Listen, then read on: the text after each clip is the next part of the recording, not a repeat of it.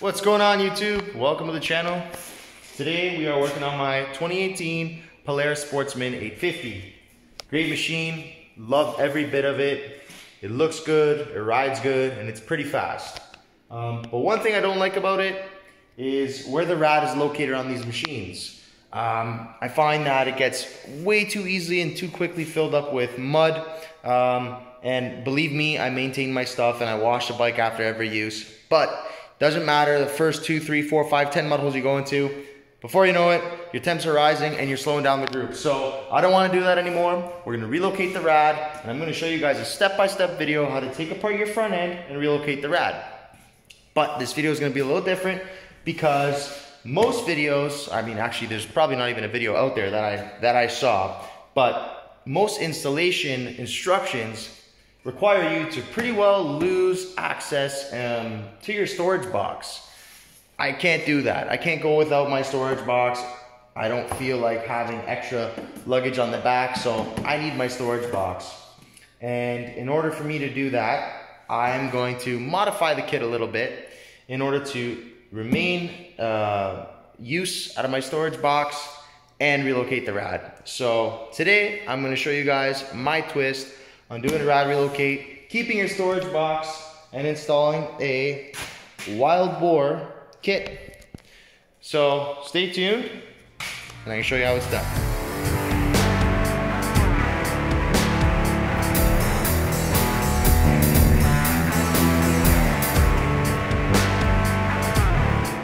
Okay guys, so first step in, uh, in today's procedure is going to be remove the front bumper if you have one. Um, if the dealer didn't put it on for you, obviously you did it yourself. But to take it off, it's one, two, three, and four bolts. Slides right out. Um, so go ahead and do that. And then obviously remove your storage box to get access to the top of the rad here, which is quite easy to do. Obviously, I'm sure you've done it before. Crack them loose and she'll come out. So why don't we go ahead and do that first. Once you guys have the bumper removed and the storage box out of it, you're gonna take off this top thing just to get out of your way. Makes your life a little bit easier. Four bolts, or rather two bolts, one, two, and two clips. These two clips right here.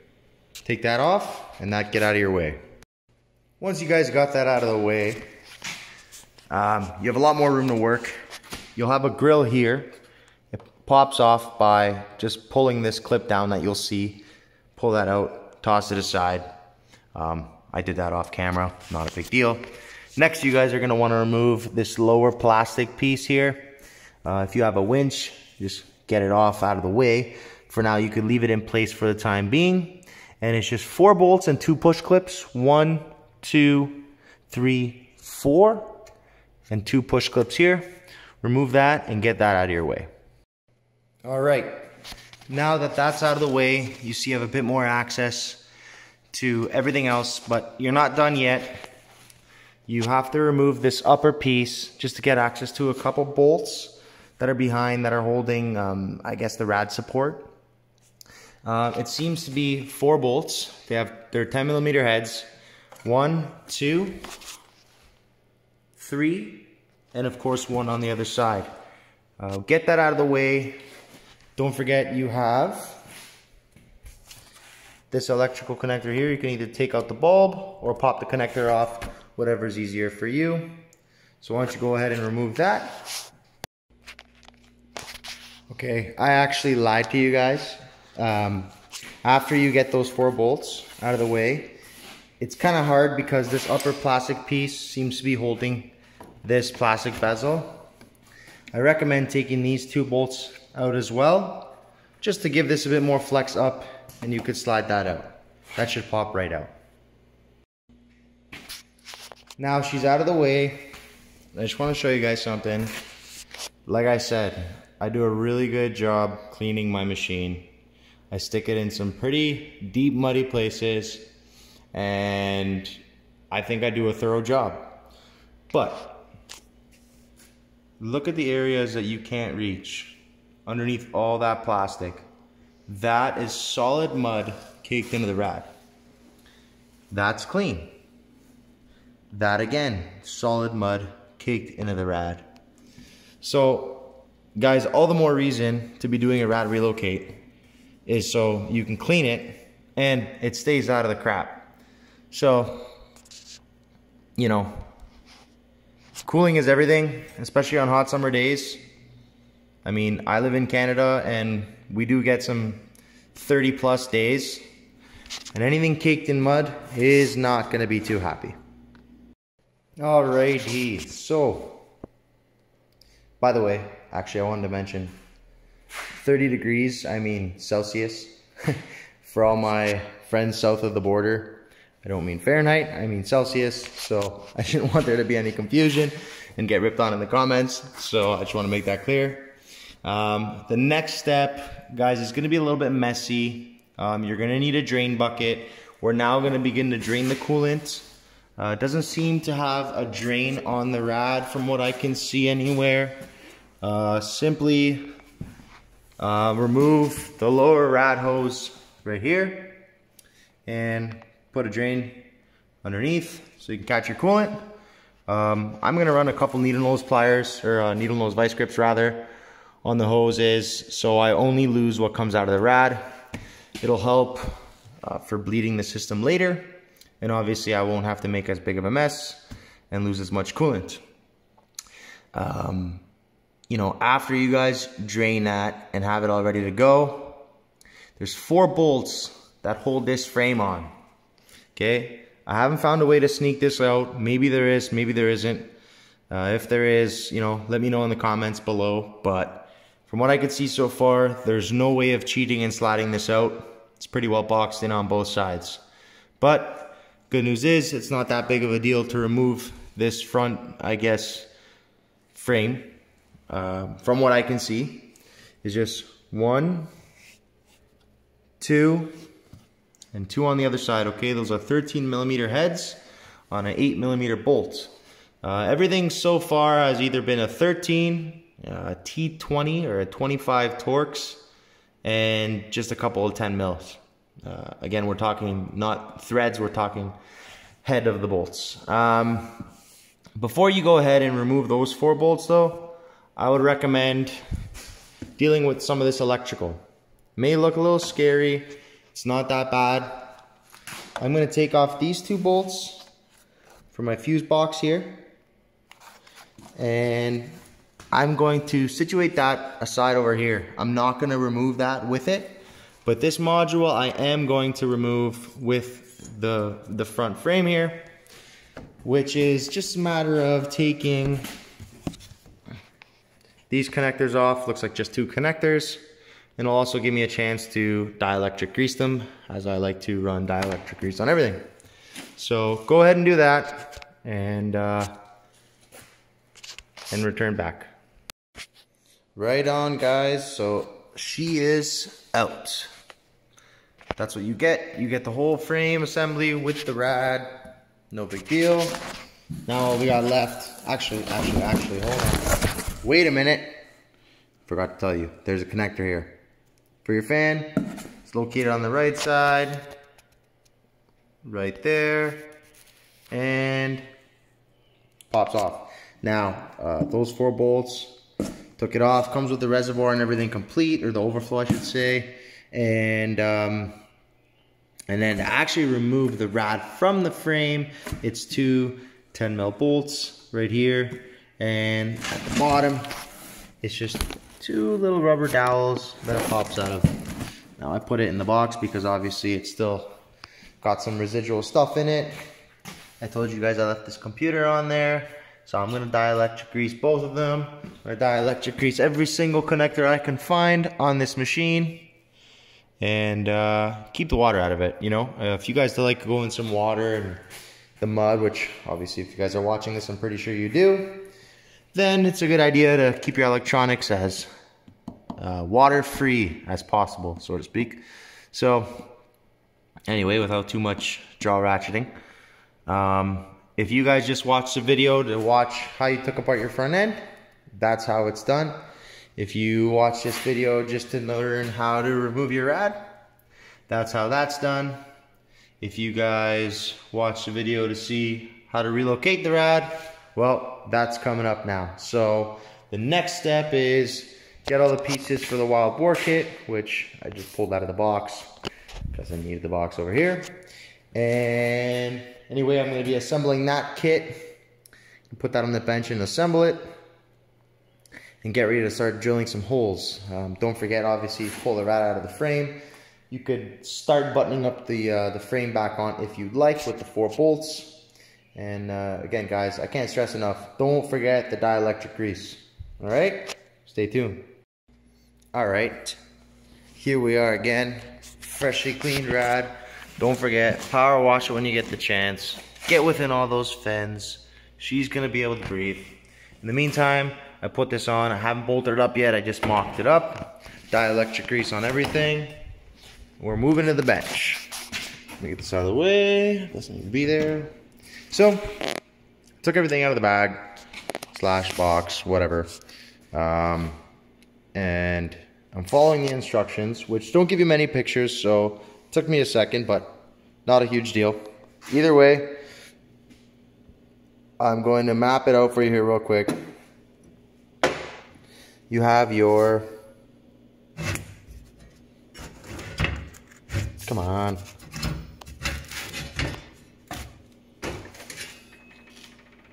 You have your main frame, okay? And you're gonna stick your screen, I'm gonna call this a screen, because it looks like a screen, and then you saddle the sides, tabs facing outwards, okay? Those are gonna fall into place right there. And these little 90s, or past 90s, they're gonna go right there, okay? These bolts here. To me, it looks like the rod's gonna sit on the bottom, and it looks like it's gonna be bolted into one of these. These here are the plates that'll be underneath to sandwich um, these guys here. And obviously a bag full of hardware and elbows, and so on and so forth. Um, this looks like it's gonna I'm assuming, I'm only gonna guess, it saddles this like so. And judging by the looks of the rad, it's for the rad cap. Now, I'm gonna go ahead and assemble this because that's what it tells me to do.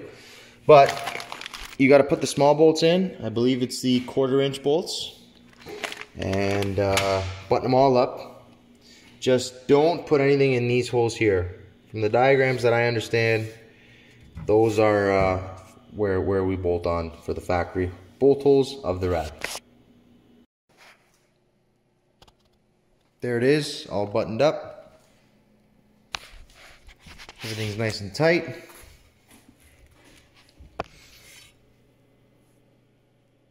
Right? Still have these plates I gotta use for a sandwich. They gave us uh, elbows, obviously all the hardware, hose clamps, pretty much everything you need. I haven't found anything that they've forgotten, which is good. And this cap here is like I suspected for protecting your rad cap. Looks like a quality product. The only thing I don't like about it so far is that it's pretty heavy. You know, I get it. They have to make it durable, but perhaps a little less material would have been nice. Because, I mean, yes, it is an 850 and it does make power, but, you know, I like to keep things light when I'm building things personally. But it's going to serve a purpose and it's going to do its job. So the next step is going to be assembling this machine uh, to a point and then we have to drill the cap of our storage cover and then run some plumbing. So I'm gonna cut the clip here and when I press play, you guys will probably see a machine that's together. Bam, all back together. I just mocked it up. The front end is, is, is tight, is fastened. But I just mocked this up here because I'm going to show you guys um, where you're going to scribe the marks on your cover to drill it. Where it's sitting right now is where it's going to be full time.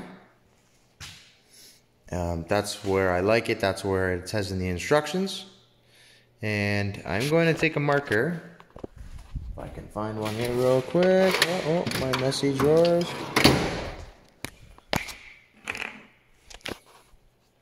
I'm just going to scribe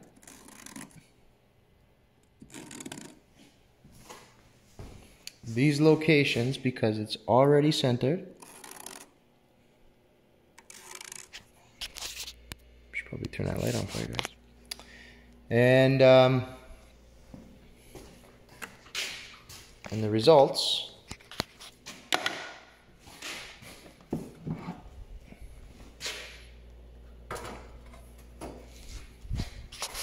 are like this. Okay. Just on the top of the flat. One right around there. There. And one right around there again. Okay, now we're gonna go ahead and drill those holes. Well, you guys, I, I drilled those holes yesterday and I bolted it up. I was too too tired. It was late, and I had work in the morning, so I, uh, I, I, called it quits for the night. But today, uh, we're picking it back up. You guys might notice something a little different about the bike. I put some new tires on it, brought them to work with me, mounted them up.